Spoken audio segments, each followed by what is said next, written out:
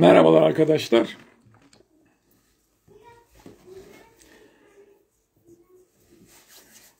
Evet, yavaş yavaş e, evet Berna Hanım da geldi. Hemen hızlıca bir e, takip isteği göndereyim. Herhalde en hızlı başladığımız program oldu. Canlı videosu katılmak için istek gönder. Hatta kendisi gönderdi.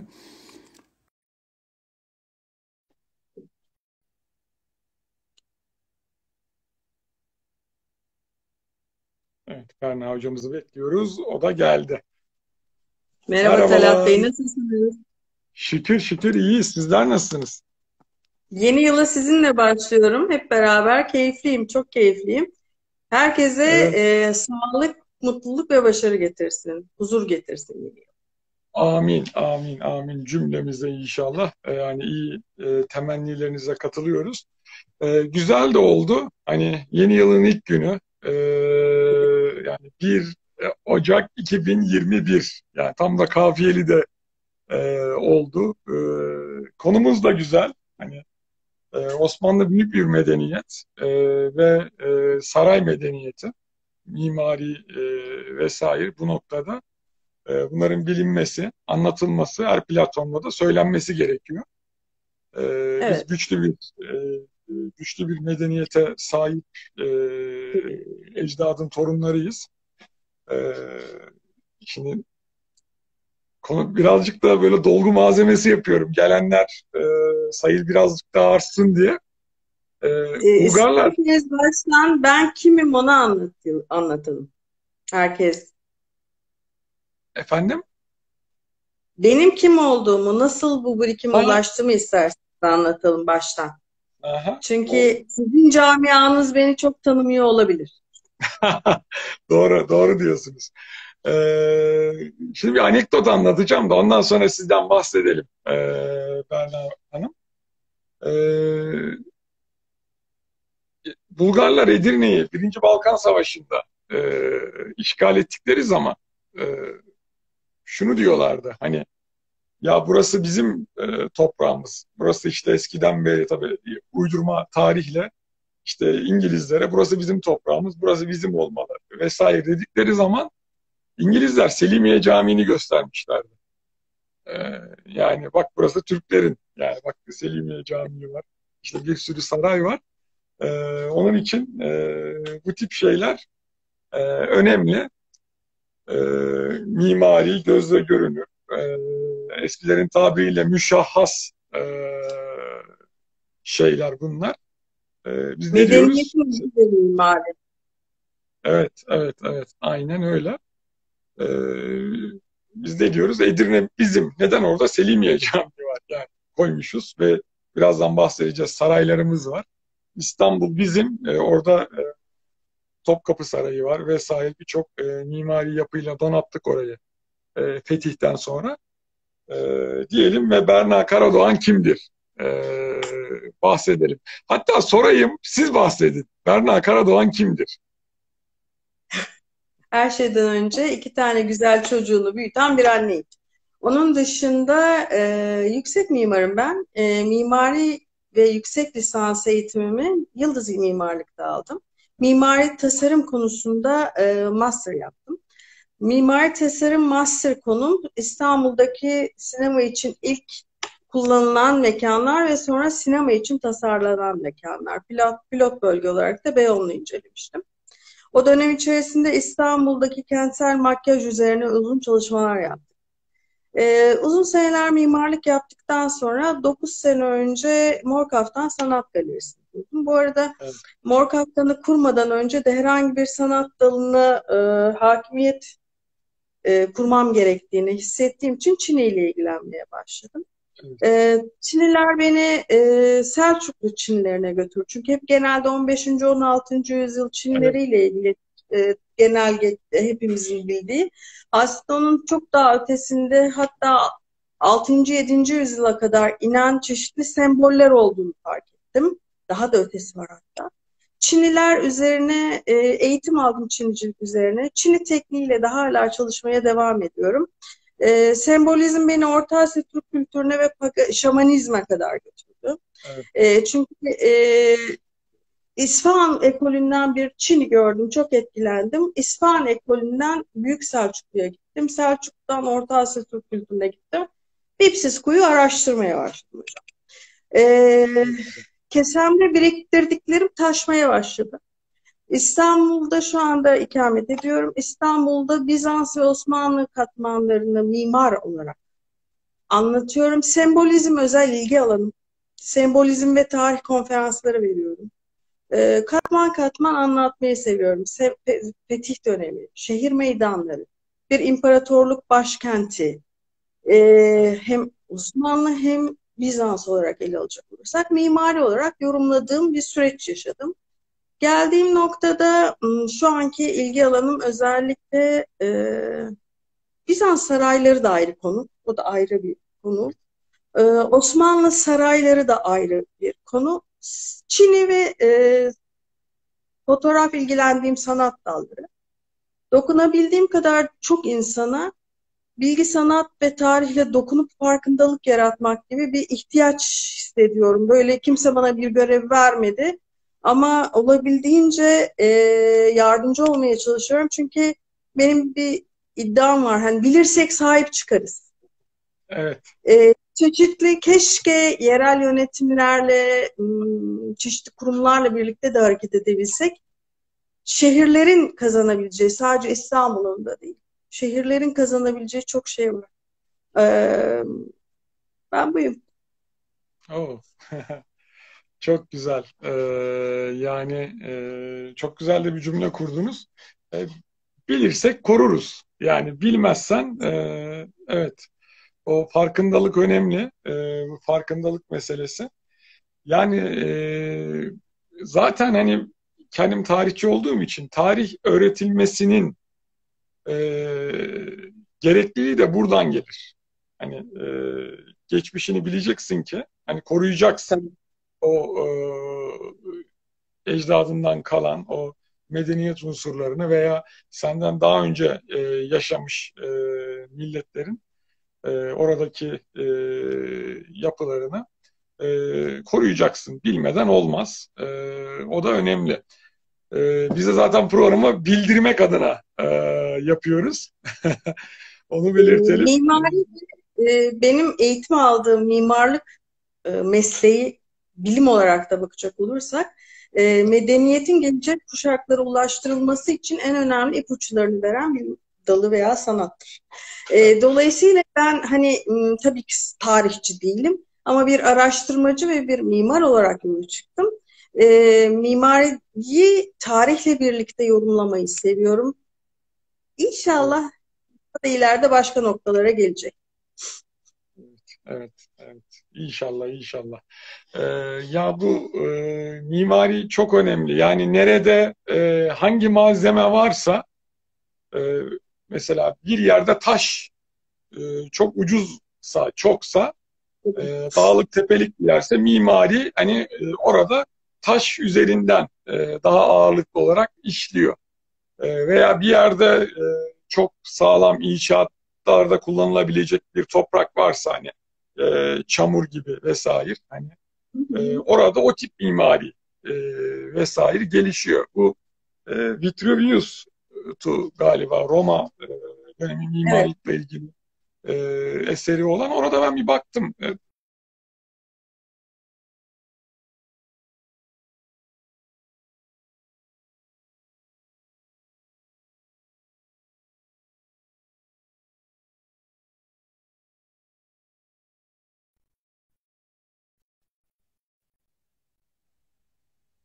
Burada sıkıntı gözükmüyor. Sesim geliyor değil mi? Duyuyorsunuz. Şimdi gel. Görüntünüz dondu bir ara. Tamam. Ee, demek ki ben de siz donuyorum, siz de ben donuyorsunuz. Ben de sizde gitti zannettim. Ee, Belki devam bilmiyorum bir şey oldu. Evet. Aha. Vitruvius'tan bahsediyorduk. Ee, orada baktım evet. hani e, genel olarak mimaride hani e, işte e, toprağın ham madde olarak kullanıldığından e, bahsetmiş bütün Frigya'da. E, bakıyorsunuz şimdi köy evlerine e, Afyonkarahisar'da tam o Vitruvius'un benzer e, yapılar. Yani hani birebir aynısı değildir muhtemelen ama malzeme neyse hani ona göre mimari de e, şekillenmiş e, ona göre. E, e, Osmanlı'da Yap günümüze kalan e, yapıların genelde e, kamusal e, binalar olmasının sebebi de İstanbul yangınları gibi bir gerçek var İstanbul ölçeğinde bakacak olursak. Kolay malzeme olan ahşap kullanılıp fakat kolay yanıcı olması yüzünden de sivil mimari örnekleri çok sayılı or oranda kalmış. Gerçek olarak biz saray veya e, camilerde, kamusal büyük yapılarda görebiliyoruz bizim medeniyetimizin izlerini. Zaten şimdi yakalayacağımız hikayelerde de kaybettiğimiz sarayların çoğu benzer sebeple kaybedilmiş. Evet, evet, evet.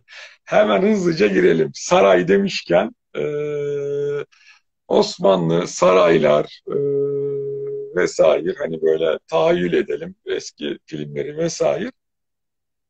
Ee, Osmanlı'daki bilinen e, ilk saraylar, e, ilk saray diyeyim hatta. Nerededir e, hocam? Bize izah Daha öncesiyle ilgili çok veri yok. Ee, bilinen ilk elimizde donesi olan ilk saray aslında Bursa.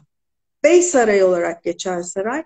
Bursa Setüstü denilen e, bölgede e, bulunduğu söyleniyor.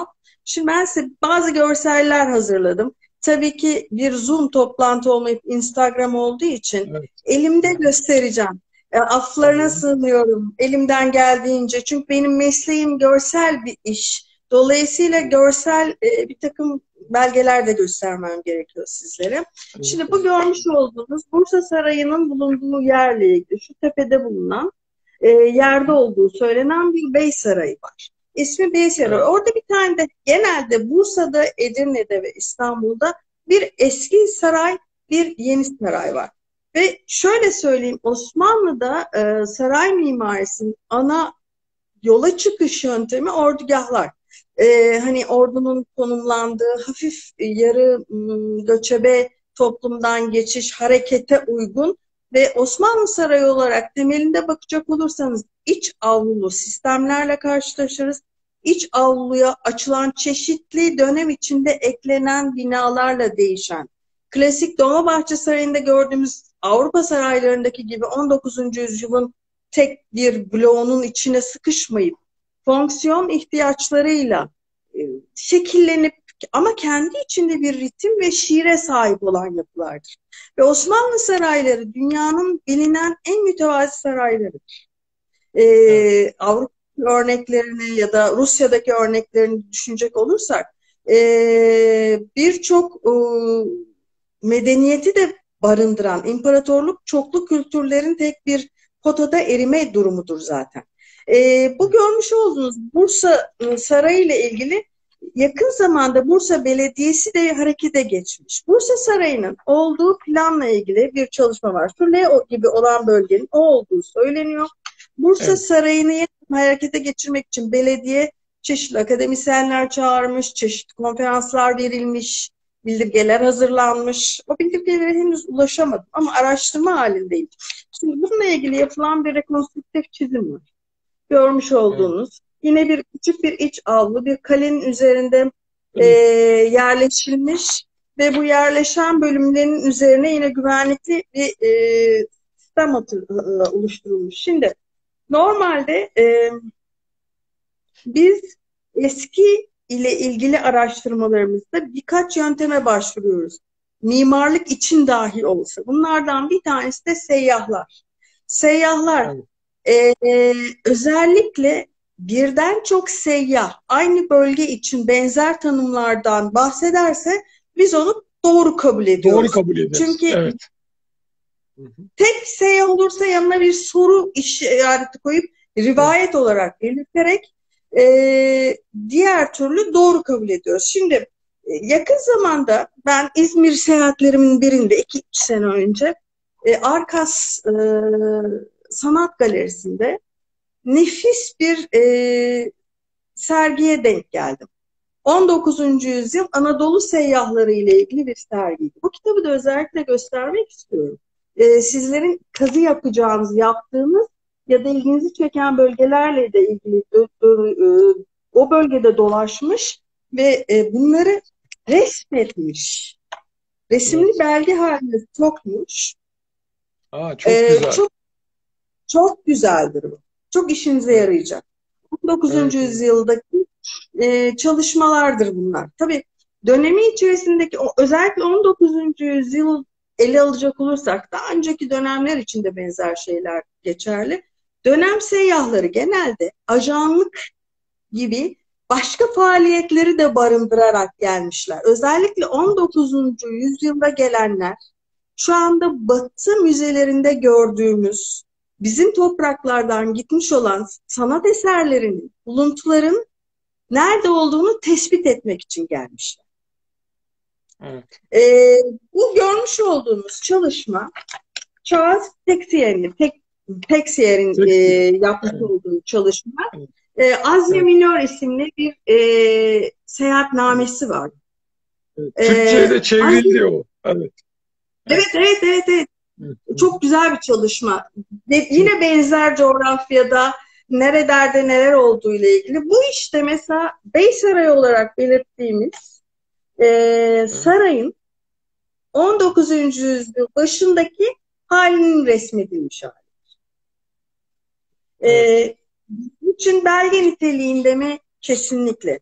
Yıpranmış bir saray mıdır? Evet. Çünkü sarayın son dönemlerinde özellikle Osmanlı Sarayı'nı İstanbul'daki saraya un temin etmek için bir imalathane gibi kullanıldığı eski görkeminden çok şey kaybettiği de söyleyeceğim. Şimdi e, bir tarihçi, bir yazar Mustafa Arman, St. Petersburg Hermitage Müzesi'ne gitmiş. E, İnternette dolaşırken haberler içerisinde buldum.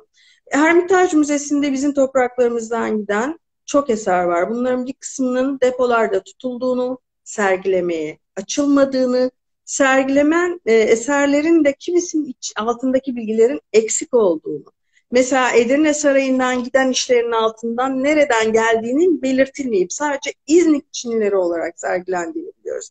Bunun benzer durumu Victoria Albert Müzesi'nde Londra'da da var.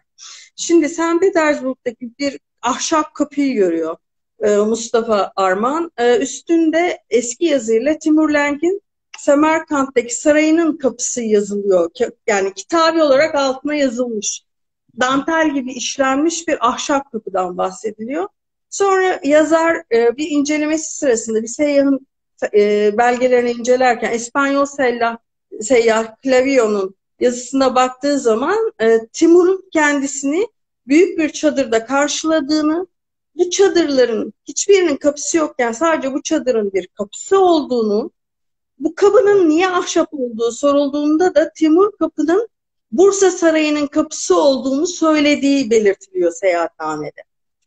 Ee, bunun üzerine o e, ibareyle birlikte bu kapının Timur'un elinden Ruslara geçtiği yani süreç içerisindeki seyahatin sonunda en nihayet Ruslara geldi ve şu an Hermitage Müzesi'nde Bursa Müzesi'nin Bursa Sarayı'nın Bey Sarayı'nın bir kapısı olduğunu biliyoruz.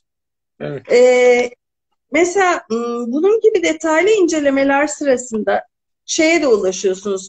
Matrakçı nasıl? Matrakçı. Nasuh Marcus dönem e, minyatürleri, gravürleri incelendiğinde bunlar da bizim için birer belge niteliğindedir. Belge. Matrakçı Nasuh'un bir bir özelliği var. E, bütün e, dönem minyatürcülerin aynı özelliği var, nakkaşlarının. Bunlar aslında vakan nüvis olarak çalışıyorlar bir nevi de. Bizlere belge bırakmışlar. Önemli bir olayı ve önemli bir mekanı bize betimlemişler. Bu da mesela Bursa Sarayı'nın betimlendiği matrakçı su e, çizimlerinden biridir. Burada da tepenin üstünde belirtilir. Bu çok derinlemesine girmeden anlatacağımız bir Bursa Sarayı hikayesi. Bunun evet. devamı da var. Daha ilginç de doneler Edirne Sarayı'nda karşımıza çıkacak. Bunda az bilgiye sahibiz. Çıkar mı daha? Çıkar. Bu arada bunun bulunduğu arazi e, Şehadet Camii olarak bilinen, Kale Sokak ve Şehadet Camii olarak bilinen bir caminin karşısında bulunan ordu evi ve askeri garnizon olarak kullanılmış uzun seneler boyunca. E, garnizon olarak bulunan e, bu binanın uzun senelerde oradan kıtanın çıkması, orada kazılar yapılması çünkü altta bir de Bizans'la ilgili katman var, Osmanlı ile ilgili katman var ve bunun şehre saray olarak kazandırılması üzerine çeşitli diyaloglar devam etmiş. Aslında oranın askeri müze olarak pardon askeri alan olarak uzun süre kalması korunmasını da sağlamıştır. Yoksa evet. imara açılması durumunda çoklu bina inşaatının devreye gireceği ve bizlerin kolay kolay herhangi bir donaya ulaşamayacağı, tahribatın olacağı bir kazı alanıyla karşılaşılacak. Siz daha iyi bilirsiniz tabii. Evet, evet, evet. evet. Aynen öyle. Ee, şimdi Bursa Sarayı'ndan e, bahsettik. Hakikaten de ilginç de bilgiler de öğrendik. Genelde e, pek Bursa Sarayı'ndan bahsetmeyiz. Hani tarihçiler. E, hani Bursa'daki olaylar genel olarak e, geçer. Çünkü neden? E, Orta Çağ'ın sonu e, yeni çağın başlangıcı. Hemen hemen son dönemlere denk geldiği için e, çok fazla e, sadece bilmesi gereken tarihçilerin bildiği bir e, yerdir, bir, bir mekandır. E, bizim tarihçiler genelde Edirne Sarayı'nı biliriz. E, çok aktif şekilde de e, kullanıldığı için. Bu Edirne'deki Edirne saraylarından bahsedelim. Mesela Edirne'deki ilk sarayın adı nedir? E, iki tane saray var evet. galiba. Yanlış bilmiyorsam. İki tane saray var. Genelde şehirde eski bir saray varsa sarayı Atik, yeni bir saray varsa da sarayı Cedid olarak kullanılmış. Oradaki eski e, sarayın ismi de Sarayı Atik olarak geçiyor. Eski sarayın olduğu bölüm e, özellikle e, şu anda Selimiye Camii'nin olduğu bölgede olduğu söyleniyor Saray Atik'in. Yani bu Saray Atik'in önemini şöyle belirtecek olursak e, Fatih Sultan Mehmet'in doğduğu bina grubu. Evet. E, bu arada ben Edirne'yi gerçekten çok seviyorum. Hmm, çok farklı mimar olarak da e, ilgimi çeken donelere sahip. Mimar Sinan yapıtları başta olmak üzere ayrıca eski e, cami olarak belirtilen bir ulu, cami aslında o da ama eski cami olarak belirtilen bir bina var. Özellikle ziyaret edilmesini rica edeceğim. Onun dışında da bu bölge aynı zamanda Roma ve Doğu Roma İmparatorluğu e, özelliğine de sahip nefis bir şehir. İncelenmesi gereken, detaylandırılması gereken bir şehir. Bölgeye çok fazla seyyah gitmiş. Giden seyyahlarda da çok güzel e, betimlemeler var. Ben şimdi m, eski sarayla ilgili mesela şimdi bir tane seyyahtan bahsedeceğim. Siz bunu çok iyi bilirsiniz. Deniz aşırı seyahatnamesi. E, Bertrand de la Bracois. Bu beyefendinin şöyle bir özelliği vardır. 1450'li yıllarda Fransa kralının e, İslam ülkelerine ajanlık yapması için gönderdiği, muhbirlik yapması için gönderdiği e, bir seyyah. Tabii her seyyahın olduğu gibi yaptığı seyahatnamenin içine bir takım gravürler de eklenmiş. Bu gravür 1455'te yapılmış bir yarı harita gravür çizim bir çalışma var. Şu anda Chesterfield Library'de e, ne yazık ki o da yurt dışında. İstanbul'un fethedilirken teknelerin, e, kadırgaların karadan yürütüldüğünün hurafe olduğu söylenen kısım da vardır ya bir kısmı efsanedir der, birisi gerçektir der. Bunun buradaki bulunan e, görsel 1455'te çizilmiş. 1455'teki çizimde o kadırgaların karadan yürütüldüğü gösteriliyor. E, bütün şuradan şöyle gösterecek olursak şurada karadan yürütüldüğü gösteriliyor. Osmanlı'nın karargah olarak kullandığı çadırlar görünüyor. Sadece tek problemi Ayasofya'nın bir batılı katedral gibi çizilmiş olması. Ee, şimdi bu, bu beyefendiden niye bahsettim? İstanbul fethinden sonra Fatih Sultan Mehmet'i ziyarete gidiyor. Nereye gidiyor? Edirne'ye. Çünkü İstanbul fethinden sonra anında İstanbul bir başkent haline gelip hemen Fatih Sultan Mehmet İstanbul'a taşınmıyor. 7 yıl sonra bu, bu gerçekleşiyor. 1460'lar civarında gerçekleşiyor bu. Çünkü zaten çeşitli e, handikapları olan, yokluğu olan, salgın hastalıkları olan bir şehir o an İstanbul. İlk e, olarak e, burada şimdi diyor ki Edirne Sarayı ile ilgili bir çalışma var. Hünkar Adrianopoli'ye gelince paşalar da dört gün sonra oraya geldiler ve ben kabul edildim diyor kabul edilirken kabul edildiği binayı padişahın sarayının önündeki kalabalığı birinci kapıdan nasıl girdiğini, arkada duran muhafızları, e, arkasındaki arz odasını hepsini detaylı olarak burada bizde mimari çizim yapabilecek netlikte kişi sayısına kadar hepsini bize veriyor. Burada e, Avrupalı saraylardaki divanhaneyle yani bir salonla buradaki salonun teknik farklılıklarından da bir e, gözlemci olarak bahsediyor. Bunlar mesela bizim için nefis belgeler. Bir tane de şey var. Lukas Kroni. Bu da biliyorsunuz evet. İstanbul fethi için e, konuşulan evet, hani süper. Bu da olması evet. kütüphanelerimizde olması gereken kitaplardan biridir. Evet. E, bunda mesela saraya geldiği zamanki e, sarayın nasıl bir yer olduğu, vezirlerin nasıl davrandığı, saya, saray hiyerarşisi, bunun gibi birçok detaydan buradan bahsediyor. Bu arada Edirne ile birlikte Dimetoka da çok önemli. Dimetoka şu an Yunanistan sınırı içerisinde olan bir yer. Hatta orada da bir Bizans sarayı var. Hatta Edirne'deki saray tam o istenilen seviyeye gelmeden önce Fatih Sultan Mehmet bir süreyi de Dimetoka'da geçiriyor. Tabii şöyle bir şey var. İstanbul'daki ve e, Edirne'deki yeni sarayların her ikisinin de esas yapım kararını verip aynı prensipte inşa edilmesine sebep olan hükümdar Fatih Sultan Mehmet'tir.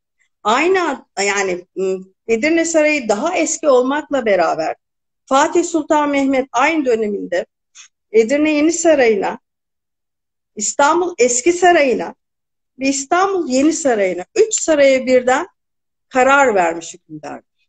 Muazzam bir şey. Evet, evet, evet.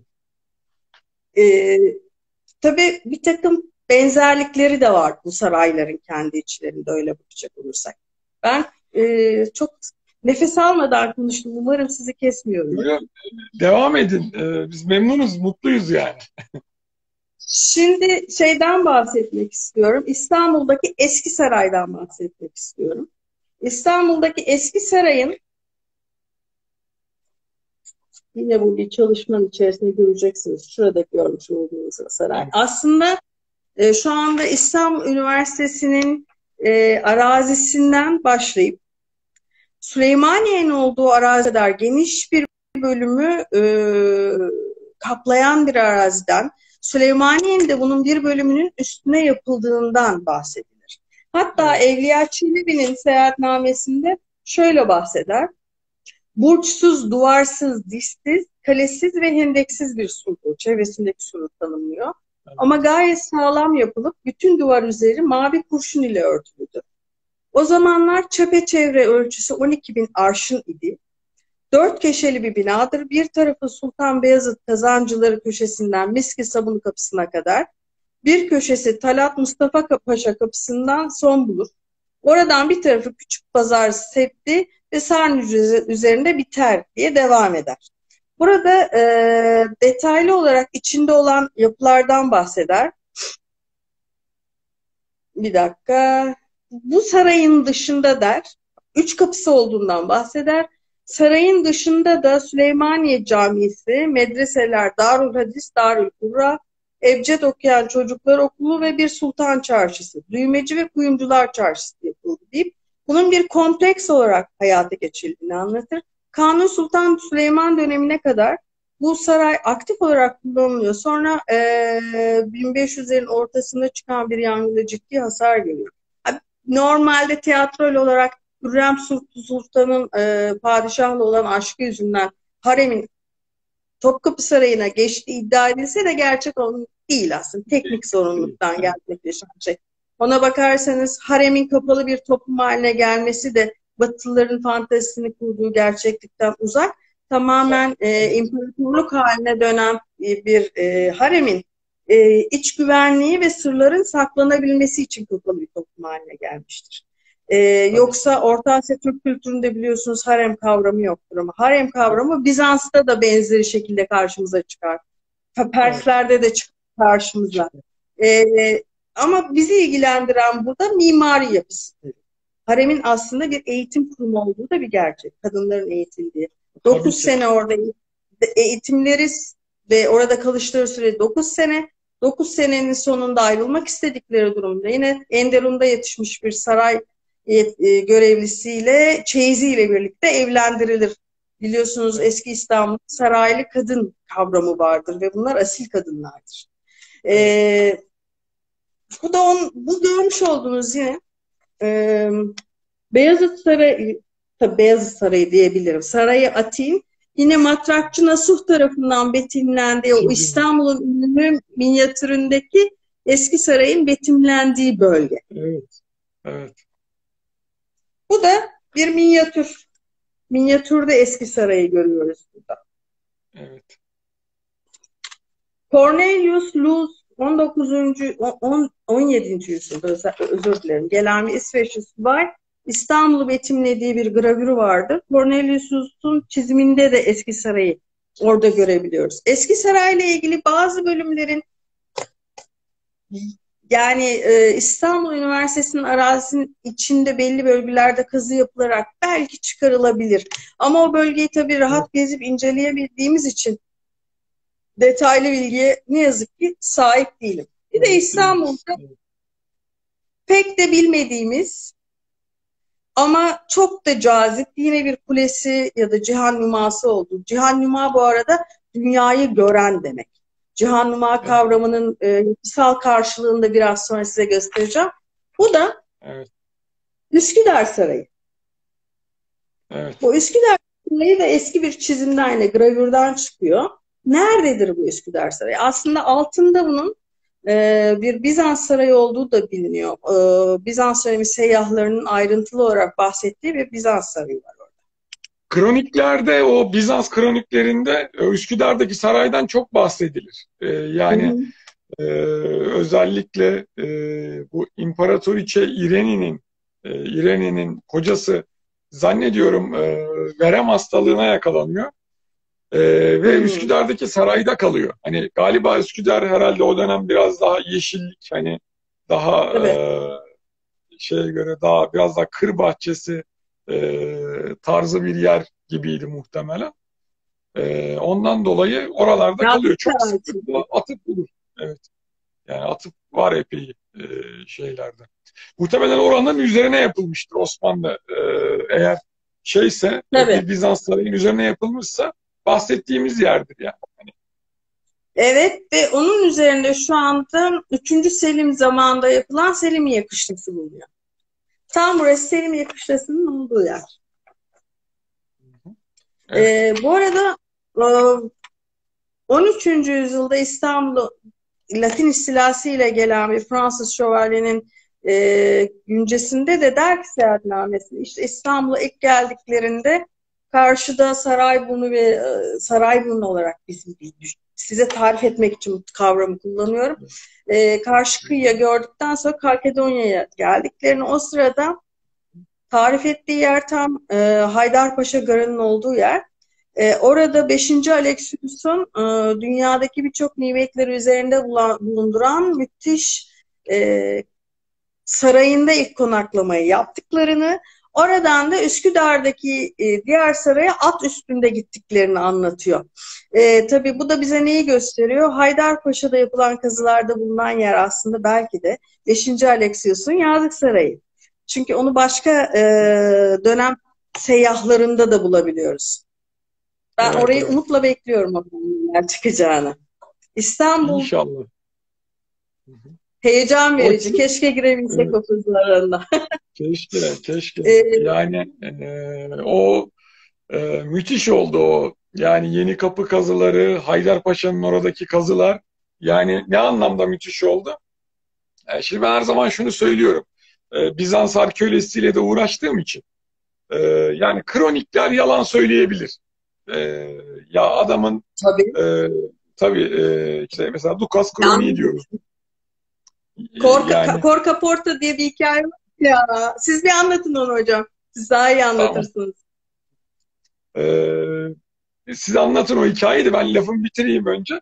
Bu e, kroniklerde hani adamın e, ne bileyim dönemin e, sultanıyla veya dönemin imparatoruyla e, bir ilişkisi vardır. Arada görmeyebilir, yan tutabilir vesaire.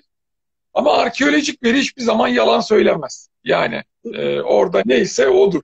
E, o noktada e, bu e, Yeni Kapı'daki kazılarda e, bu Haydarpaşa'daki kazılarda inanılmaz derecede e, arkeologlar için tabii ki önemli ama tarihçiler için de e, mimarlar için de e, zengin malzeme, zengin materyaller veriyor. E, evet. o, onun için çok önemli, çok faydalı. Siz anlatın anlatacağınızı.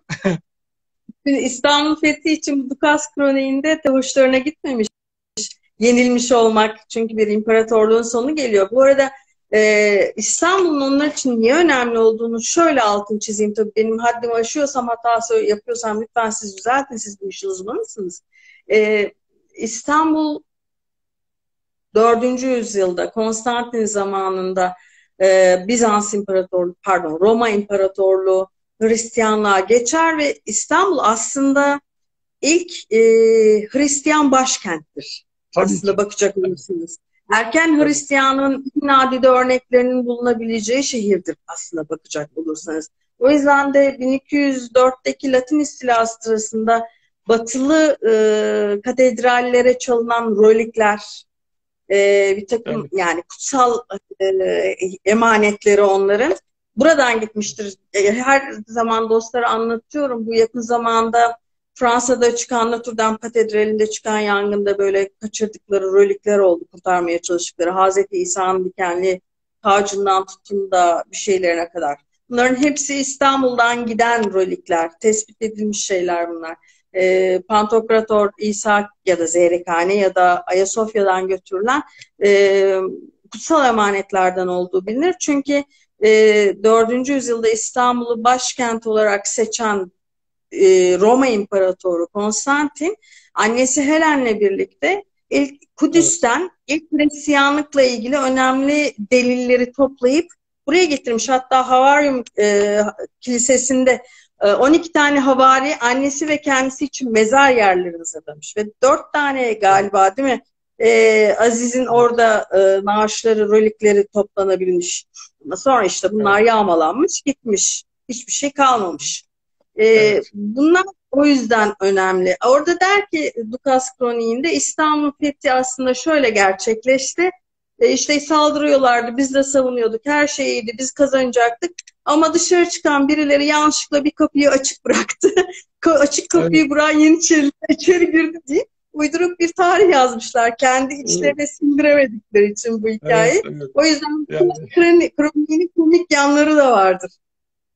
Evet, evet, evet. Yani hani orada e, kullanılan teknoloji, şahi topları, Bizans'ın üçün, içinde bulunduğu durum vesaire hani hepsini unutuyoruz. E, bir tane e,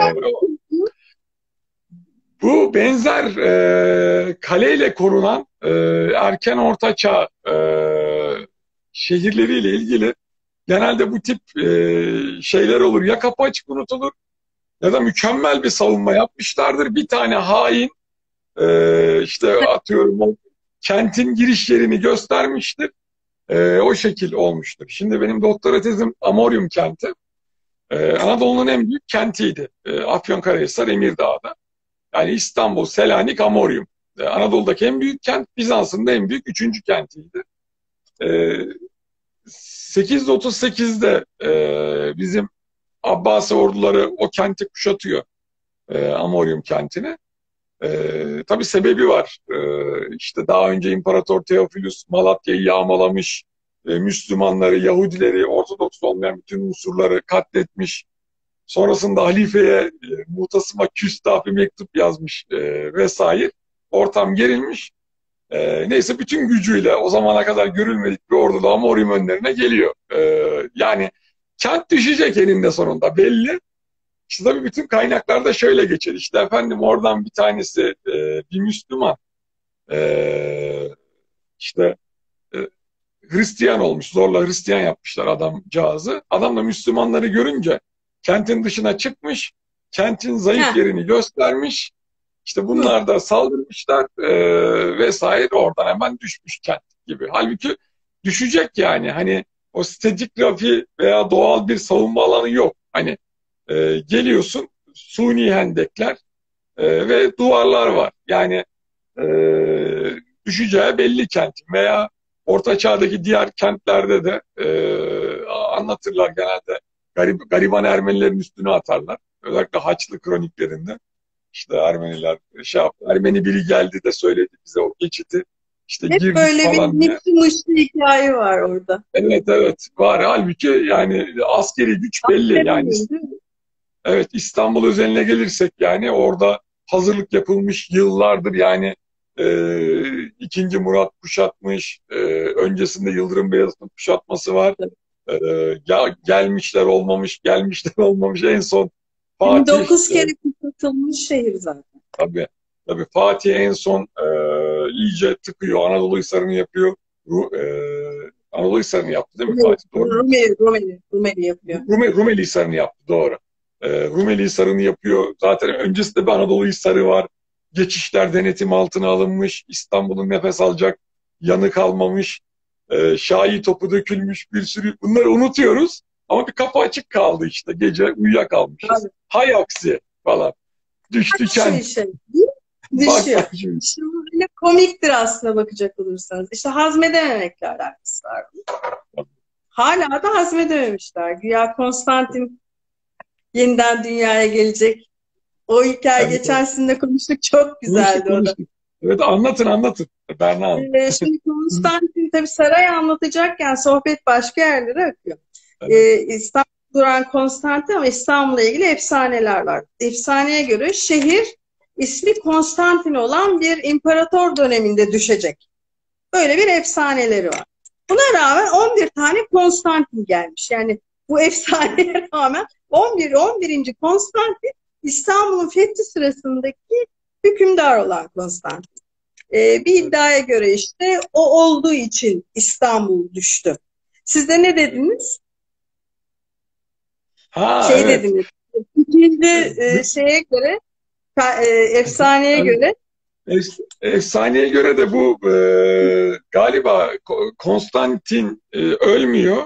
E, taşlaşıyor. Bir heykele evet, dönüşüyor. zaten, zaten mezarı yok şu anda. Tabii. E, sonra e, bu e, e, başka bir Konstantin e, şeklinde veya ahir zamanda kıyamet gününde bu Konstantin gelecek. O taşlaşan Konstantin yeniden insan olacak ve İstanbul'u yeniden e, alacak ve Ortodokslara verecek diye. Tabii e, son dönem e, 1915 yılındaki e, Yunanların kralının adı da Konstantin. E, zaten hep şunu diyor. Biz, e, bizim mesela e, Türk aydınının e, Konstantinopolis veya İstanbul'a Konstantinopol denilmesine rahatsızlık duymasının esas sebebi bu Konstantin. Hani Yunanların son 1920'lerdeki, 21'lerdeki, 22'lerdeki kralı İngilizler tarafından atanan Kral Konstantin'i çok irite etmiştir. İşte Konstantinopolis'i aldım bile Konstantin. Hani e, burayı bize verin e, demiş adam. E, bizim hani biraz da e, Konstantinopolis adına e, biraz alerji duyulmasının sebebi de tepki, tepkinin sebebi de budur. E, onu, onu da söyleyeyim. Yani. fethettikten sonra yoksa e, Fatih Sultan Mehmet uzun süre Konstantiniye olarak kabul etmiş İstanbul'u. Tabii tabii sikkelerde de var. Roma Kayseri olarak betimler değil mi hocam? Tabii tabii 1930'lu yıllardaki mesela kitaplarda bile bakıyorsunuz Konstan, e, Konstantinopol matbaasında tab edilmiştir e, vesaire diye yazar. E, tabii e, o noktada e, bunlar olmuş yani Fa- Fatih'in veya e, meşhur işte hadis Peygamber Efendimiz'de hani o Fethi Konstantiniya diye gider yani. O e, hadiste bile Konstantiniye diye geçer. E, o noktada e, onu belirtelim. E, şimdi İstanbul'daki saraylardan bahsediyorduk. Orada kaldık. Topkapı Sarayı e, birazcık ondan bahsedebilir miyiz? Tamam. Şimdi To- Topkapı Sarayı aslında klasik Osmanlı mimarisi için bir yapı müzesi bence. Çünkü Evet. her dönemi için yapılmış her döneminin iç tezyinat ya da mimari olarak özelliklerini gösteren bir yapı müzesi. mimarlık tarihine meraklı bir insanın biraz da görsel bilgisi varsa göreceği bir şölen. Bütün yapı teknikleri ve dönemleri de okuyabilirsiniz. Tabii şimdi ben size bu noktadan sonra Edirne Sarayı ve e, Osman e, Topkapı Sarayı'nı paralel olarak aktarmaya çalışacağım. Aralarındaki benzerliklerle çünkü. Edirne Sarayı'nın başına gelen sorun e, 1879 ve 1880 yılları arasında e, Rus 78-79 pardon Rus tehdidi karşısında içine cephanelik bulunan binaların Ruslar eline geçmesinden korkulduğu için e, dönem valisi tarafından havaya uçurulduğu, o yangının üç gün devam ettiği ve yangın sonucunda da e, geriye pek bir şey kalmadığı patlamalar yüzünden çünkü çok şiddetli cephane patlamaları olduğu söyleniyor. Fakat elimizde hmm, bir mimar olarak söyleyebilirim ki çok fazla done var bunu ayağa kaldırmak için. E, evet. Yurt dışında bildiğin ya da gitmiş olan dostlar bilirler. İkinci Dünya Harbi sırasında birçok şehir yerle bir olmuş. Ben St. Petersburg'a gitmedim ama gitmeyi çok istiyorum. Herhalde gidersem de bir süre Hermitage Müzesi'nden çıkamayacağım. Ee, o bölgenin de tamamen harap olduğu ve sonra yeniden aslında uygun olarak inşa edildiğini biliyoruz. Ee, evet. ya yapılamayacak şey değil. Şimdi ben İstanbul'daki Topkapı Sarayı'nı şöyle göstermek istiyorum. 19. yüzyıla kadar aktif olarak kullanılmış olan nefis bir yapı silsilesi. Tabii batılı ol, belki de dönem ihtiyaçlarını karşılamadığı için. Çünkü ben tarihi anlatırken ve incelerken her şeyi dönemi içerisinde karşılaştırıp yargılamak gerektiğini düşünüyorum. Bugünkü bakış açısıyla onu yaparak çözemeyiz. Çünkü bize mesela devşirme yapı malzemesi kavramı vardır. Bir önceki uygarlığın kullanılmayan yapı malzemesini bir sonraki uygarlık mutlaka kullanmıştır. Bu sadece Osmanlı için de geçerli. Bizans da kullanmıştır. Onun öncesi de kullanmıştır. Her zaman bir önceki uygarlığın izini bir sonraki yapının üzerinde görebilirsiniz. Ee, Topkapı Sarayı'nın şöyle bir özelliği var. Bir imparatorluk başkenti olacağı bilinerek inşa edilmiş. Edirne'deki bir saray ama imparatorluk başkenti değil o zaman için. Ee, evet. Bir devletin başkenti. Bu imparatorluğun başkenti. Her ikisinin de alt kısımlarında yine Bizans'la ilgili yerleşim var. Bunun altında Akropol var. Yani Roma dönemi saray, pardon, kale kalıntısı olduğunu biliyoruz. Ee, bir tahmine göre bunun olduğu bölgede e, bir şey var. Açık hava tiyatrosu var. E, tiyatronun olması lazım çünkü her Roma kentinde tiyatro vardır. Ee, onun dışında bazilikalar olduğunu biliyoruz bunların altında. Hatta Fatih Sultan Mehmet'in kendine özel bölüm olarak yaptırdığı şu an hazine dairesi olan binanın alt ikinci katında zemininde bir e, e vaftishane olduğunu, Fatih Sultan Mehmet'in orayı bozmadığını, bu vaftizhaneden çıkan vaftiz havuzunun da şudur. Şu an Topkapı Sarayı'nın Lale Bahçesi'nde olduğunu biliyoruz. Bu kitap İl İlber Ortaylı hocama ait. Oo, evet. ee, şunu söyleyebilirim ki Topkapı Sarayı'nı ya da Osmanlı'yı anlatırken Bizans'ı anlatmamamız, Bizans'ı anlatırken de Osmanlı'yı anlatmamamız evet. mümkün değil. Mümkün değil. Çok iç içine geçmiş. Ee, birini öğrenirken öbürünü de biliyor olmanız mecburi. Yoksa çıkamazsınız işin içinden. Yoksa yüzeysel kalır bilgileriniz. Şimdi e, Topkapı Sarayı'nın esas ismi nedir? Sarayı Cedid, Yeni Saray olarak biliyoruz. Topkapı Sarayı ismini 19. yüzyılda alıyor. Topkapı Sarayı'nın Topkapı Sahil Köşkü diye yapılan saray burnunda olan, şu an tabii o sahil köşklerinin hemen hepsini sepetçiler kastı dışında kaybetmişiz. Sirkeci tren yolu hattı inşaat sırasında kaybedilmiş. Araştırmalarım onları da katacağım ben. Çünkü araştırılması, incelenmesi gereken, belgelendirilmesi gereken konular. Ee, Topkapı Sahil Sarayı'ndan ismini aldı biliyor. Bu arada aynı bölgede de e, Bizans'ın Marmara ve Halis surlarının kesişim noktasında da e, bir sur kapısı var Bizans döneminden.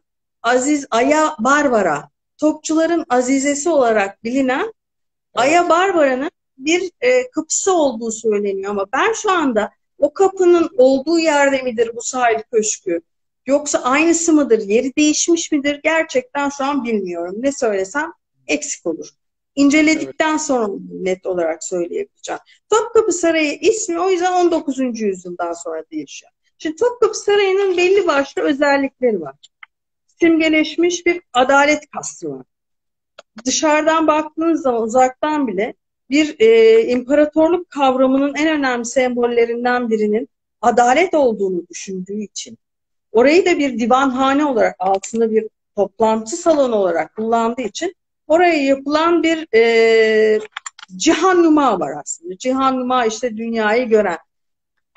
Edirne Sarayı'nda iki tane cihan numadan bahsedebiliriz. Bir, bir tanesi cihan numa kasrı olarak belirtilen bu kasırın olduğu yerde gördüğünüz. Evet. evet. E, bu belgelere nereden erişiyoruz? E, Dimitri Yermanov diye bir e, 19. Rus yüzyıl fotoğrafçısı Rus.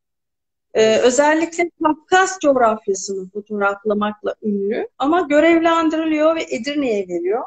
Edirne'ye geldiği zaman buradaki binaları fotoğraflıyor. Bunlar iç mekan ve dış mekan olarak şu anda mevcut. Ee, bizler için yeniden inşa etmeyi düşünürsek, yeniden ayağa kaldırmayı düşünürsek e, çok değerli. Bir de görevli olarak gönderilen 1829 döneminde 1829-1830'da gönderilen Sayger, Sayger ve Desarnot isimli iki tane Fransız var. Bunlar ama Rus çarı için çalışıyorlar. Des, Sayger kütüphane görevlisi, Desarnot ressam. Bunların dönem e, mimarisiyle ilgili çizimleri var. Cephe çizimleri, mimari plan çizimleri ve tespitleri var. Bunlar bu yüzden biz ne yazık ki Osmanlı olarak ım, baktığımız zaman e, binaları ım, minyatürde veya gravürde hafif deforme ederek kayıtları alıp mimari çizim kaygısına girmemişiz. Kayıt altına almamışız. Evet. E, bu bizim biliyorsunuz e, Osmanlı İmparatorluğu'nun önemli sembollerindendir. Bana bakar, bana kalacak olursa e, Galata Kulesi ve Kız Kulesi kadar İstanbul'un sembollerinden biridir bu kule. Ve ne yazık ki o gözle bakılmaz. Bir imparatorluğun adalet kavramının çok önemli olduğunun bina dışına yansıtılmış halidir. Bu aynı zamanda cihan nümadır. Padişahın haremdeki Kara Ağlar bölümünden yukarı çıkarak buradan gün batımını da seyrettiği, şehirde bir karışık, karışıklık olduğunda da gözlemleyebildiği, yangınları dahi gözlemlediği bilinen kuledir. 24 saat usulü burada nöbetçi tutulduğu bilinir. Bunun altı kubbe altı divanının olduğu bölge. Ee, bu da aynı adalet kavramının karşılığı Edirne'de de var. Edirne'deki adalet kasrı olduğu gibi duruyor. Bu adalet kasrının e, yapısının nasıl olduğu, çepeçevre nasıl kullanıldığı, kaç katlı olduğu, bütün veriler seyyahlar tarafından betimlenmiş. Bunların e, Snyder ve Desarnot ve e, dönem resmedenlerin de kayıtlarında çizimleri kesit olarak dahi var. Zaten bu bina şu an ayakta ama şimdi Topkapı Sarayı'nla bunun arasındaki benzerlikler ve farklılıklar açısından gidecek olursak Babı Humayun Osmanlı Sarayı'nın, Topkapı Sarayı'nın ana giriş kapısı. Biz şu anda ana giriş kapısının şu üst bölümünü görmüyoruz. Çünkü yangınlar dolayısıyla kaybetmişiz. Ee, döneminde evet e, dönemindeki büyükelçilerin e, ilk sarayı ziyarete geldiği zaman ilk burada ağırlandıkları sonra içeri alındıkları bilir. Birinci avluya biliyorsunuz saray erken dışında halk da girebiliyor. Devai kasrında kendi şikayetlerini dile getirdikleri dilekçeleri teslim ediyorlar. E, Devai Kastı da şu an kaybettiğimiz binalardandır. Temel izi tamamen görülebilir. Bu da Edirne Sarayı'nın e, Bab Bab-ı Humayun'u ilk giriş kapısı. Aa, bunu bunu ilk defa gördüm. Gerçekten. Rıfat Osman, Rıfat Osman ıı, isimli bir beyefendi 1912'de bu kitabı yazmış. E, bu kitabı da yayınlayan sonra Süheyl İlmer Hoca. Allah Allah rahmet eylesin. Yani, Tabii mekan ya çok, olsun. Çok çok büyük bir adam Süheyl Ünver. Yani biz e, Selçuklu tarihçileri vesaire çok şey borçluyuz. E, tek tıp tarihi alanında değil. E, hoca her yeri yapmış ya. Bir tire, tire ile ilgili bir sempozuma gitmiştim. Biraz Süheyl Ünver'den bahsedelim. O Tire'deki o e, eski Selçuklu'dan kalma yapıları vesaire şey yapmış kara kalemle e, çizmiş adamcağız. Ondan sonra bizim Afyonkarahisar'a geldiği zaman e, Afyonkarahisar'da da böyle birkaç çizim yapmış. E, bizim Karacaahmet köyü var. E, bu deli tekkesi derler. Delilerin akıllandığı köy. Tedavi eder, edilir orada. E, belirli deliler hala daha da açıktır. E, ondan vesaire bahsetmiş ve bunun hani e, tıp ilmiyle, psikiyatriyle hani oradaki tedavi yöntemlerinin paralel olduğunu, hani e, ilme fenlere uygun olduğundan vesaire bahsetmiş. Hakikaten e, büyük adam Allah e, gani gani rahmet eylesin. Kabrini olsun. Amin. E, evet. bu arada Osman da e, çok çok çok duygusal bir şey benim için bu. Girişine bu kitabın bir yazı ele almış. Ee, Gelecek Türk Yavrularına tarih 1918. 18.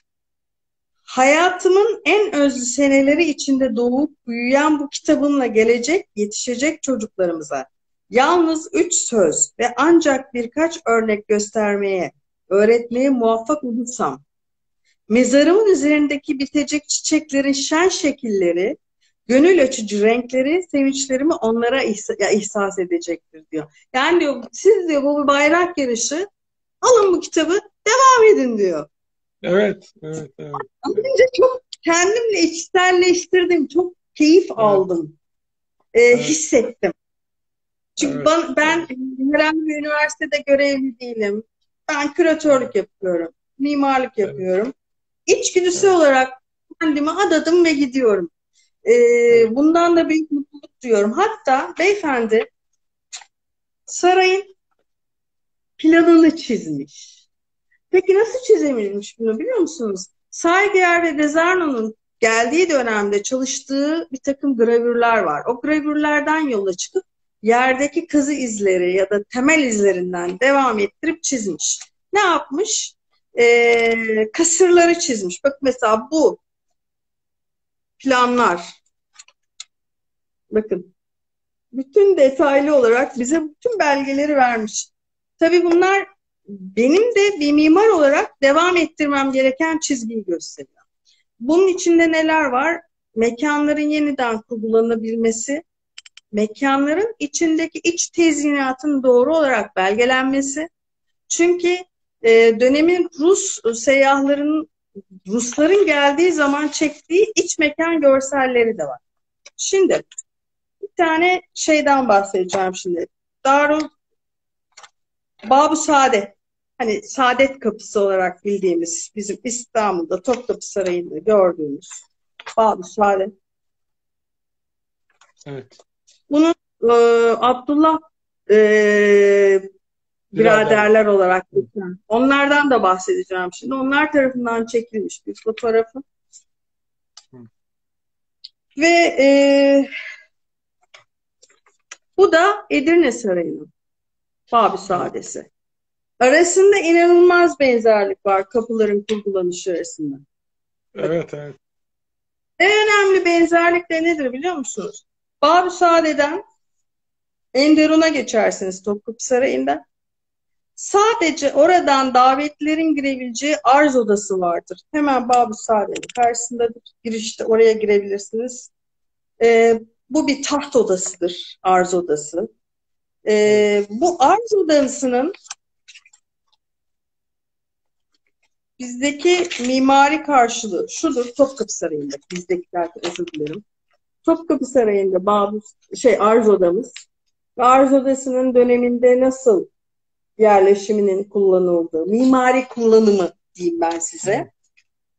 Bu arz odasının Edirne Sarayı'ndaki hali, o da Babi Sade'nin hemen yanında aynı şekilde planlanmış ve kesiti. İnanılmaz benzerlik var. mimari plan olarak, işleyiş olarak tamamen aynı planlanmış. Bir de en büyük benzerliklerden birisi matbaa amire yani mutfak bölümünde yer alıyor. Mutfak bölümünün e, özelliği dünyanın en gösterişli, en büyük metrekareli ve en özenli saray mutfağının Topkapı Sarayı'nda olduğunu biliyoruz. E, Edirne Sarayı'nda da şöyle bir avantajımız var. Çok az harap olmuş diğerlerine göre. Yakın zamanda da restorasyon gördü. Ayağa kaldırıldı. E, Babu Sade olarak bildiğimiz e, Akalar Kapısı olarak bildiğimiz kapı da kapının ana girişi ayağa kaldırılmış durumda. Yapılabilecek çok şey var aslında burada. Tabii bunun için içinin nasıl işlediğine de bakmak lazım. Şimdi kum kastı denilen önemli bir kasır var.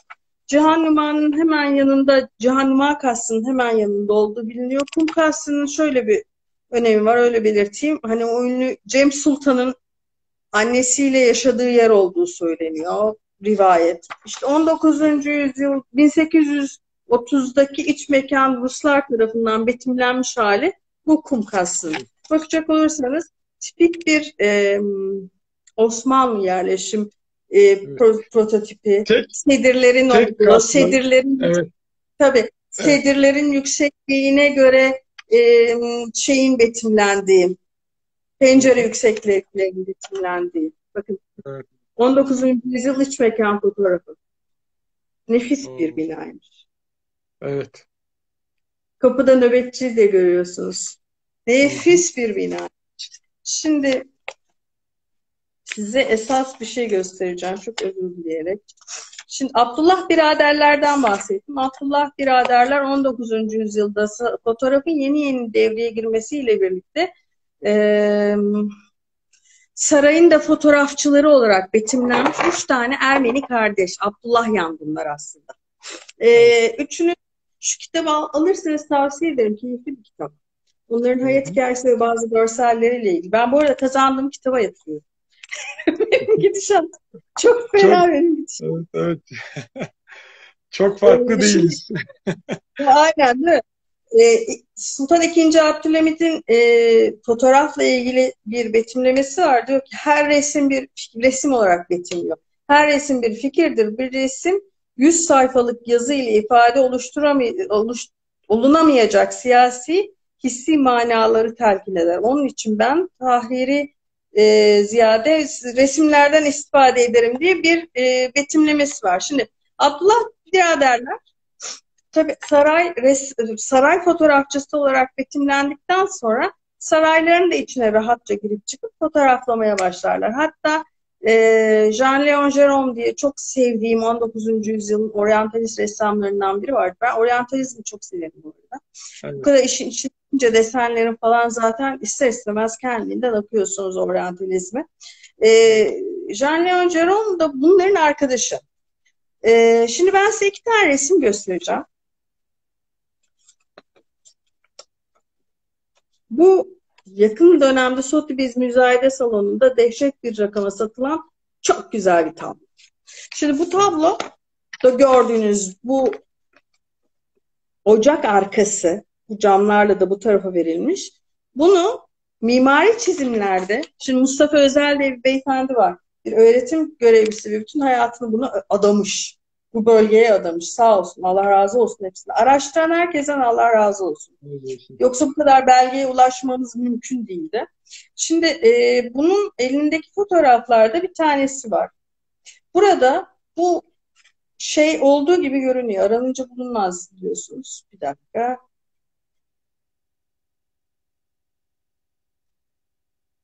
Neyse bulacağım biraz sonra. Bu görmüş olduğunuz çifte ocaklar olarak tabir edilen yer. Çifte ocaklar e, ön tarafında şömine var. Ocak şömine olarak bunu tabir edebileceğim. Bu aynısı değil. Ama bu da Edirne Sarayı'nda.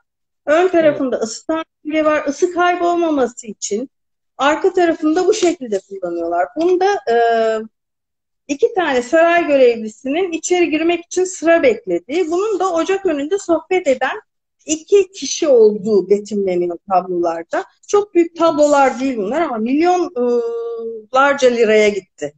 E, bu görmüş olduklarınız da bize belge niteliğinde çünkü üzerinde Çiniler Şimdi bu detaydan Canlı. yaklaşık bilemiyoruz ama canlanmış.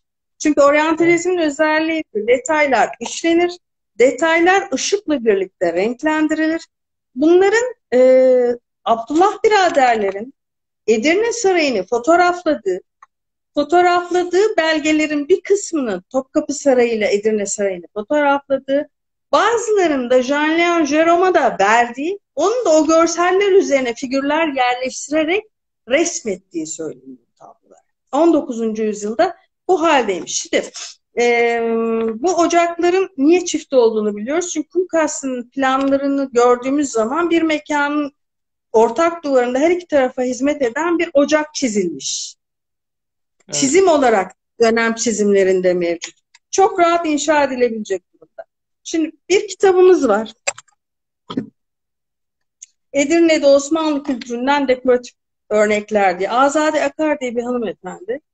O da Allah razı olsun ondan. Hayatını adamış. Hatta bir ekiple birlikte hareket etmişler. St. Petersburg Hermitage Müzesi'ndeki ocağın fotoğraflarını çekmişler. Bu da Edirne Sarayı'ndan giden. Evet.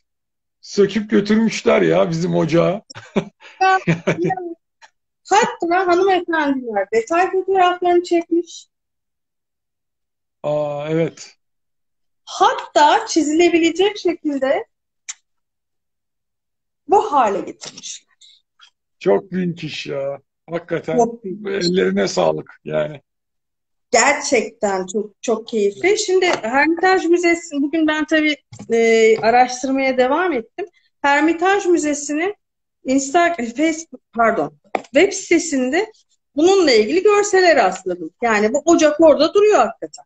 Bunun dışında kaybettiğimiz neredeydi? Bakın Hermitage Müzesi'nde böyle sergileniyor. Evet. Gizli çekmişler, ölçülendirememişler. Bu da mesela sarayın iç tezinatlarından biri. Yine Rusların çektiği fotoğraflardan biri. Ee, Fatih Sultan Mehmet'in tahta çıktığı görsel var. İkinci tahta çıkışı Hünername'de betimlenmiş. Bunun Edirne evet. Sarayı olduğu söyleniyor. Tabii şöyle bir şey var. Eski Edirne Sarayı olma ihtimali var zamanlama yüzünden. Tahta geçişi evet. ikinci Edirne Sarayı'ndan önce miydi, sonra mıydı? Tahmin ölçüsünden gidecek olursak. Bu da e, yine Hünername'den Kanuni dönemiyle ilgili. E, Topkapı Sarayı kütüphanesindeki bir görsel. Bunun net olarak deniyor ki Süleyman Murşidi Alaaddin geri planda da harem görünüyor. Edirne Sarayı olma ihtimali çünkü çok yüksek çünkü zamanlama yüzünden. Kanuni Sultan Süleyman'ın o döneminde Topkapı Sarayı'ndaki haremin daha oluşmadığını, tam oluşmadığını. Bu da e, Cihan Numa öndeki binanın da sembolize edilerek Cihan Numa kasrı oldu. Öndeki de o meşhur bir havuzu olduğu söyleniyor, o olduğu söyleniyor. Topkapı Sarayı ile Edirne Sarayı arasındaki bir benzerlik de İftariye Köşkü. Ama tabii teknik olarak, isim olarak benzer, görsel olarak, işlev olarak farklı. Topkapı Sarayı'nın olduğu yerde tam dördüncü havluda tombak olarak altın rengi gördüğünüz bir um, pergolamsı bir yapıdır. Kamelya gibi bir yapıdır. Burada da Tunca Nehri'nin kenarında gördüğünüz İftariye Köşkü'nün çok net çeşitli açılardan çekilmiş fotoğrafları var. Ben niye bunları heyecanla anlatıyorum? Çünkü inşallah ayağa kaldırırız diyorum. İlk önce İnşallah. kitapla, belgelerle sonra da daha detaylı çalışmalarla ülke kazansın, şehirler kazansın istiyorum ben. Bu da bir divanhane saraydan. Bu tipik bir Osmanlı mimarisidir. E, e, klasik Osmanlı mimarisidir. Evet, çok ee, belli. Kur, kubbe yapısı. Evet. Aynen öyle. Tipik bir e, yerleşimdir. E, o kadar çok done var ki aktarabileceğim bu konuda. Ama evet. sıkmak istemiyorum kimseyi. Sormak istediğiniz şey var mı? Evet. Ee, şimdi az evvel e, Çinileri gösterdiniz Edirne Sarayı'ndaki de. Tamam. O, daha da o, Çin, o Çinilerin e, tabii siz daha net görüyorsunuz. O betimlemeler, tasvirler nasıl? E, klasik süsleme mi? İnsan tasvirleri tabii. vesaire var mı? Nasıl e, şeyler? İnsan tasvirleri Osmanlı'da hiçbir zaman Çin konularda olmaz. Ee, Selçuklu da karşımıza çıkar ancak. Ee, Anadolu evet. Selçuklu'da da vardır ama esas Büyük Selçuklu'da karşımıza çıkar. Ama bu görmüş olduğumuz Çiniler tamamen 16. 15. ve 16. yüzyılın ihtişamıyla karşılaşabileceğimiz örnekler. Ee, şimdi hanımefendiler daha detaylı çalışma yapmış o dönem içerisinde. Ee, takdir ettim. Eyüp Sultan'a e, götürülen bazı parçalar olduğunu, bunların yerlerine yanlış Heh. baş aşağıda yani ustanın yapıştırırken Hani vardır ya fayans döşeyen ustalar bazen deseni evet, takip edemez. E işte bakın evet. buralarda bunların hepsinin Edirne Sarayı'ndan olduğunu tespit etmişler. Bunları doküman haline getirmişler. Yani Eyüp Sultan Camii'ne gittiğinizde de görürsünüz. Ayrıca Ayasofya'daki 1. Mahmut Kütüphanesi'nin içinde de Edirne Sarayı'ndan sökülüp getirilen parçalar olduğu söyleniyor. Ee, işte daha önce bahsettiğim devşirme yapı malzemesi hikayesi burada da karşımıza çıkıyor. Sünnet Köşkü'nün girişindeki e, Şahkulu'nun yaptığı saz yolu olan panoların da devşirme olarak oraya getirildiği düşünüyoruz. Çünkü 16. yüzyıl panoların 17. yüzyıl binasının üzerinde olmasını başka hiçbir şey izah edemez. Bir yerdeydi ve onlar oraya getirildiler. Yani, ya da binanın yapılışıyla ilgili tarih farklılığı evet, var. Evet, evet. Benim e, yüksek lisans tezim Selçuklu tarihi üzerine. Sonra geç antik çağa kaydık ama Türkiye Selçukluları ve Beylikler döneminde Afyonkarahisar. Benzer bir durum Afyon'da da, Afyonkarahisar'da da söz konusu. E, meşhur Afyon Kalesi. E, e, kalesinde bir kale mescidi varmış. Ve e, muhtemelen e, Selçuklu dönemi veya Beylikler dönemine ait çok güzel e, Çin'i e, süslemeler olduğu vesaire söyleniyor. Tabii mescit yıkılmış, Çiniler yok ortada. Bu e, daha sonra Osmanlı döneminde Mısri Camii olarak anılan e, bir cami var. Şeh, şehir merkezinde. Şehrin göbeğinde bile diyebiliriz hatta. E, oradaki e, Çinilerin o kale mescidinden getirildiği söylenir yani. Hani muhtemelen oradan geldi. Çünkü e, Çiniler daha eski camiden hani bir yerden e, söküp getirildiği belli.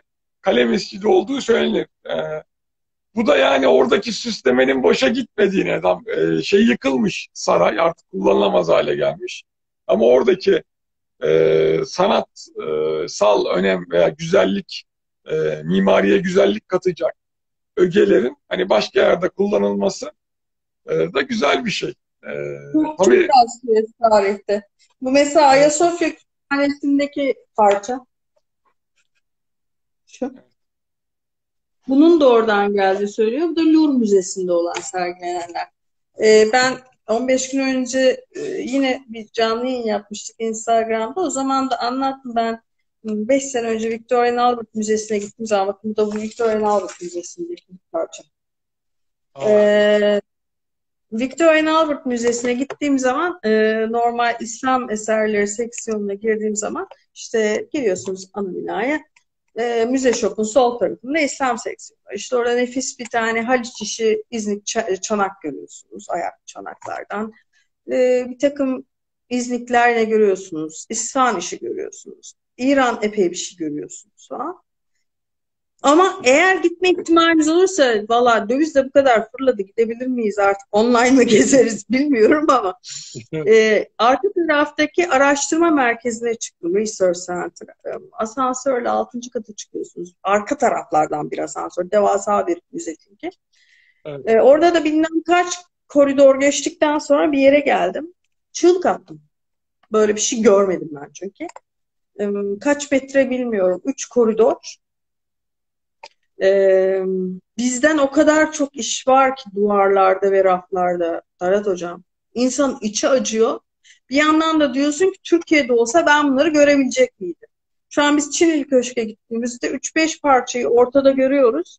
Doğru sergilenmediği ve biz araştırmacıların araştırmasına izin verilmediği için depolarda bize neler saklandığı, bize sö- neler söyleyebilecek parçalar olduğunu bilmiyoruz. Ben e, evet. Çinili Çinili Köşk'ün koleksiyonunda nefis şeyler olduğuna eminim arkeoloji müzesi koleksiyonunda. Bu şehrin, bu coğrafyanın, özür dilerim şehir de değil, gerçek anlamda ihtisaslaşmış müzelere ihtiyacı var. Depolar yetmiyor bu buluntular için. Adamlar orada sen başvuruyorsun. Diyorsun ki ben bunu bu dönem bir şey araştıracağım. Bilgisayarına koymuş. Yetkili geliyor sana parçayı çıkarabiliyor hatta. Görebiliyorsunuz zaten. Evet. Yani konuşabiliyorsunuz. Ben orada düzinelerce fotoğraf çekebildim. Hristiyan ustalar tarafından yapılan Çiniler ayrı bir konu.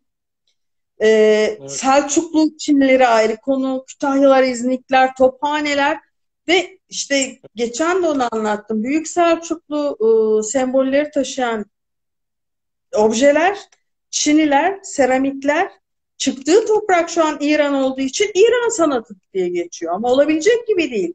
Kuyruğu düğümlü evet. Türk atı var orada. İşte savaşçının her şeyi, her şeyi belli. Yapılabilecek çok şey var. Hepimizin el birliğiyle hmm, dokunabildiğimiz kadar çok insana dokunup sanatımızı anlatmamız gerek. Sahip çıkmazsak başkaları sahip çıkıyor sanatımıza. Aynen, aynen öyle. Yani e, bilmezsen koruyamazsın.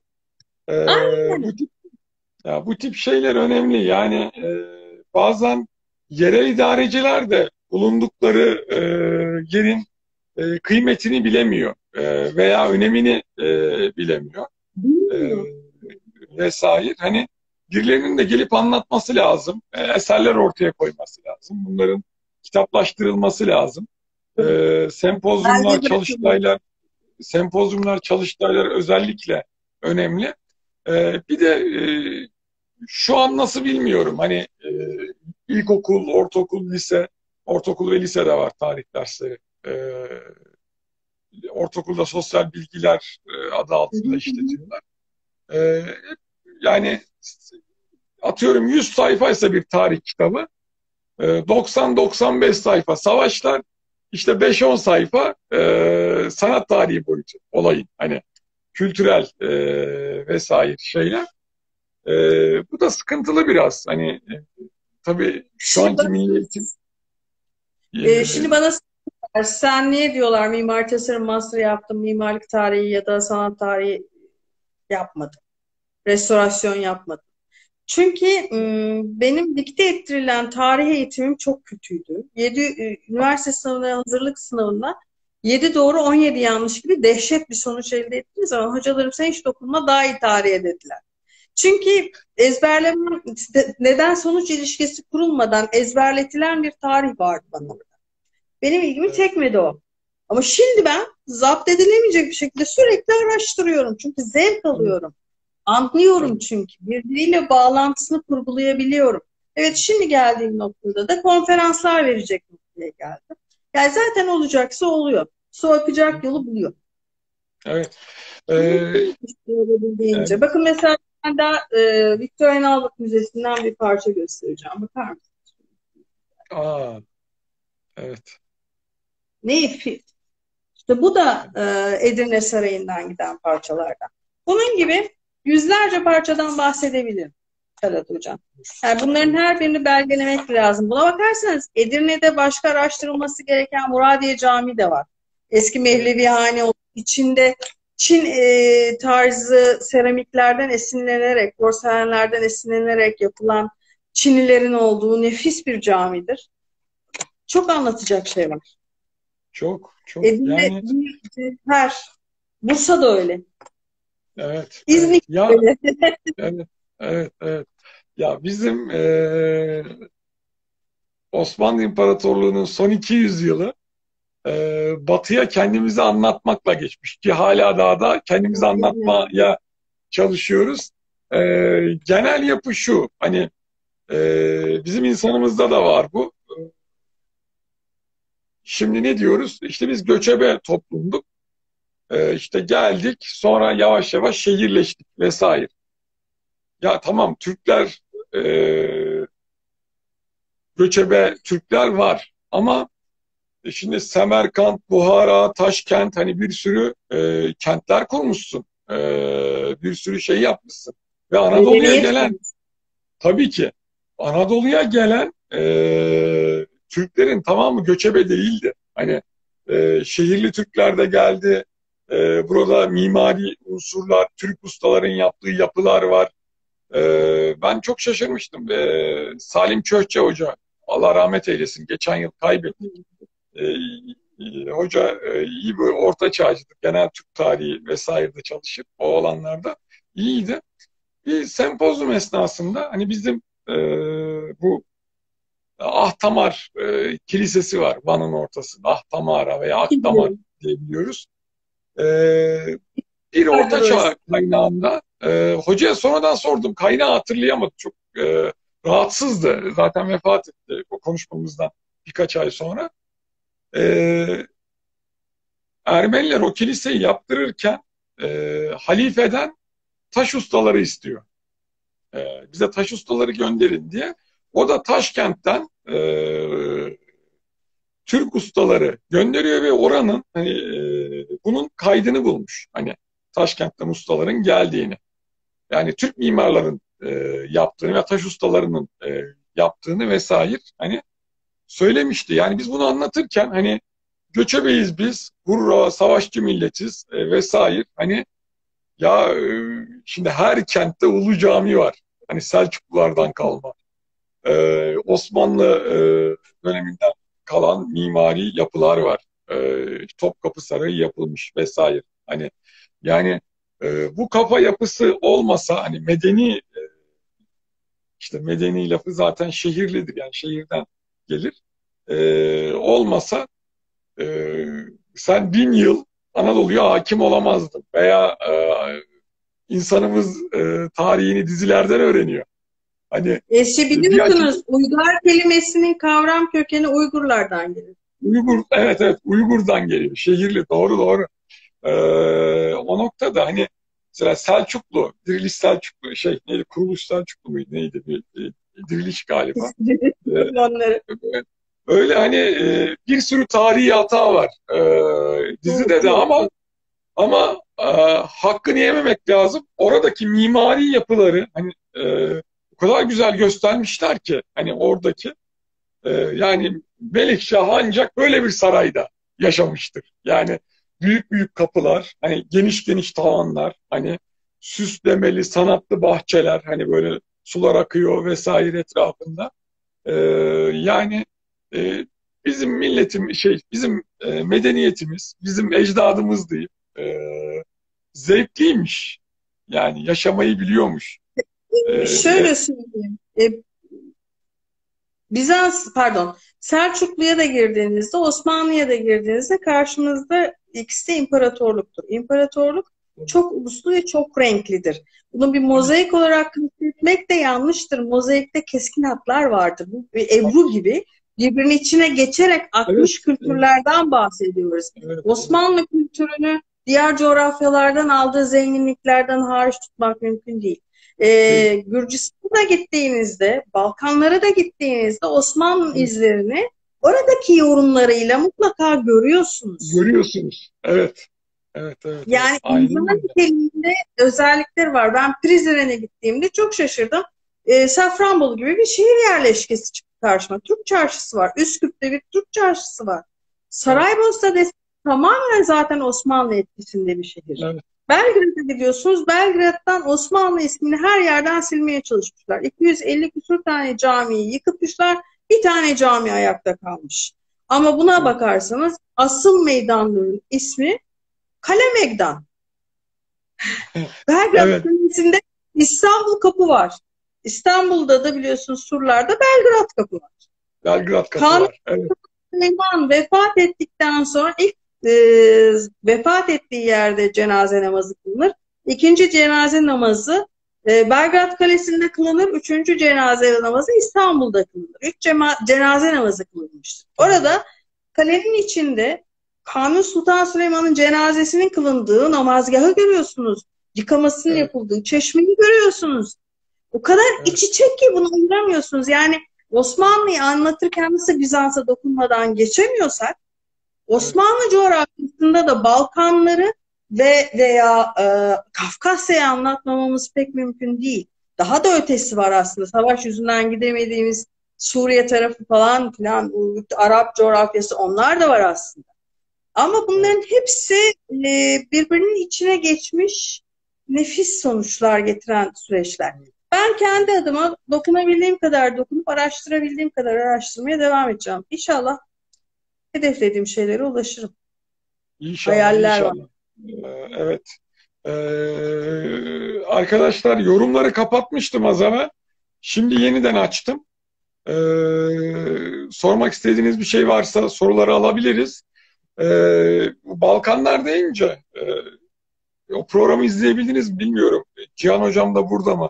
Cihan Yemişçi Hocam'la Osmanlı Balkanlarını konuşmuştuk. Ben Ee, seyrettim onu. Ha izlediniz. Seyrettim, Evet. seyrettim, seyrettim. Evet. Dubrovnik falan çok güzel anlattı. Trebinye'yi anlattı. evet. Çok keyifliydi. Dinledim. evet, evet. Bu arada e, kaybolan saraylardan bahsediyoruz ya aslında incelemeye çalıştığım, ipuçları yakalamaya çalıştığım Manisa ve Amasya'da var. Şehzadelerin yetiştirildiği oradaki saraylar Evet. da var. Evet. Ayrıca Saraybosna'da da var araştırılması gereken bir saray. Ayrıca Osmanlı Saray, Türk Saray kompleksine en yakın saraylardan biri de Kırım'daki Bahçesaray'daki Bahçesaray. Han Sarayı. Evet, evet, Bunların evet, evet. hepsi benzer özellikleriyle yerleşmiş, divanhaneleri olan, arz odaları olan, benzer özellikleri olan mekanlardır. Bunları da bir bütün olarak incelemeye devam edeceğim. Evet. Bu e, ha Cihan Hocam buradayım diyor. E, bu Abdullah biraderlerle ilgili kitabı e, bir hocamız, bir arkadaşımız görememiş herhalde. Bir daha bir gösterebilirseniz. Hemen gösteriyorum. Tabii şimdi ters görünüyordur Abdullah. Bu Evet. ikinci Fransızca biraderler, kardeşler. Abdullah yan soyadları. Abdullah ya. Evet. Bunlar Müslüman Evet. olmuştur herhalde. E, Müslüman oldu mu? Olmuşlar mı bunlar? Belirti- Öyle bir şey yok. Öyle bir bilgi yok. Evet. Bunlar Evet. özellikle benim tarafında kurulan bir şeyleri var. Ee, fotoğraflarını da göstereyim hatta. Evet. Güzel bir İşte esasında bu beyefendinin bu kitapta ona ulaşamıyorsunuz ama ee, saraylarla ilgili tespitlerin olduğu, iç mekan ve dış mekan çekimlerinin olduğu görsellere arşivlerde ulaşmak gerekiyor. Bu kitapta o görseller yok. Ben Kitabın- bunun, bunun Kitabın adını hocam e, bir söyleyebilir misiniz? Tam adını ve yayın evini. Emel Hocam. Osmanlı, Emel e, Hocam. Abdullah Gürez, Osmanlı Sarayı'nın fotoğrafçıları. Yazar Engin Özendes. En- Engin, Öz, Engin Özendes. Aha. Engin Özendes, Osmanlı Sarayı'nın fotoğrafçıları.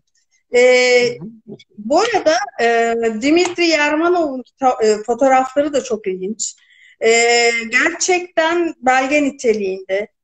Kafkas ırkı ile ilgili çektiği çok güzel fotoğraflar var. Bu- arada ben benim Kafkasya'da özel ilgi alanım. Çünkü anne tarafından ben Apazım.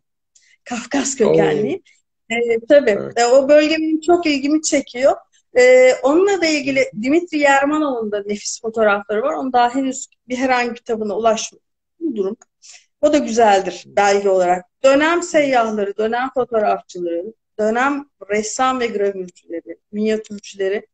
Bunların her biri bize görsel ya da yazılı belge niteliğinde. Biz yolumuza böyle devam ediyoruz.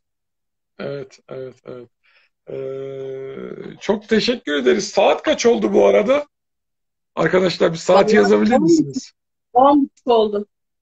On buçuk oldu. Oo, güzel. Küçük saat. On buçuğa, on buçuğa kadar. Evet.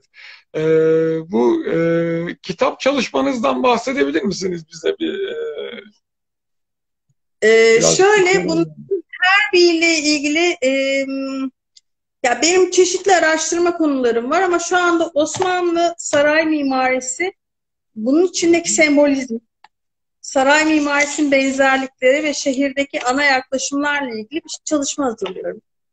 Ee, karantina sürecinin, pandeminin bana faydası da bu oldu. Kendime evde zaman ayırıp bunları inceleyemiyordum. Ee, valla bunları hazırlıyorum. Yakında bitmiş olacağını umut ediyorum. Epey yol kat etti. Yakında inşallah bir kitap olarak Klasik Osmanlı Dönem Saray Mimarisi ve Sembolizm dönem sanatlarındaki sembolizmle birlikte devreye girecek. Başka kitap çalışmaları da var zaten. Ee, ama bu ilk etapta sıcağı sıcağı olan bu. Ama anlattığım her şeyin içinde mutlaka sembolizm de olacak. Çünkü mimari sembolizm ım, çok önemli. Ee, çünkü mesela Edirne'yi niye bu kadar önemli buluyorum onu da belirteyim. Birçok padişah yerleş Edirne Sarayı'nın yakınında av sahaları var. Tavuk Ormanı evet. diye belirtilen bir bölüm var. Ee, evet. Özellikle onun içinde avlanmak için e, gidiyorlar. Ve hatta 3. Ahmet'in, Kanuni Sultan Süleyman'ın Topkapı Sarayı'ndan daha çok orada zaman geçirdiği biliniyor. 3. Ahmet'in şöyle bir önemi var tabii. 3. Ahmet dediğimiz zaman Lale Devri'dir.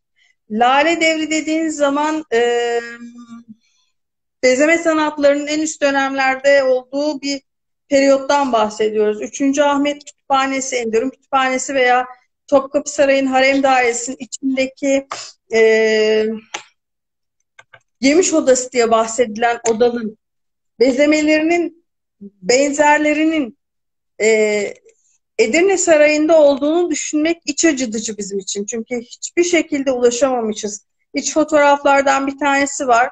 Tavan süslemesi siyah beyaz ve kötü çözünürlüklü bir fotoğraf. Gördüğümüz kadarıyla e, Enderun Kütüphanesi'nin girişindeki tavan süslemesi yani Lale Devri'nin 18. yüzyılın süslemesiyle çok benzerlik taşıyor. Bezemesiyle tavan süslemesi çok benzerlik taşıyor. E, bunların hepsini işte koyacağız üst üste alt alta. Çıkacak kitap bu şekilde. İnşallah, inşallah. Biz de merakla bekliyoruz. Keyifle de okuyacağız. Ee, İnşallah. Kitabınızı, kitabınızı. Allah utandırmasın. Allah utandırmasın. Amin. Amin. İnşallah sağlığı, sağlığımız, sıhhatimiz yerimizde olsun da e, şu işleri e, şu işleri önümüze katalım, götürelim. Yani e, o noktada e, Yüksel Yıldırım hanımefendiye de çok teşekkür ederiz güzel e, sözleri için. E, çok faydalandım diyor. E, sağ olsun. Yani biz de zaten e, faydalı olalım diye e, anlatmak anlatmaya çalışıyoruz. Yani e, Süheyl Hoca'nın sözü geliyor aklımıza yani. yani birinin devam etmesi lazım. E, 1915'lerde, 16'larda, 17'lerde söylediği söz.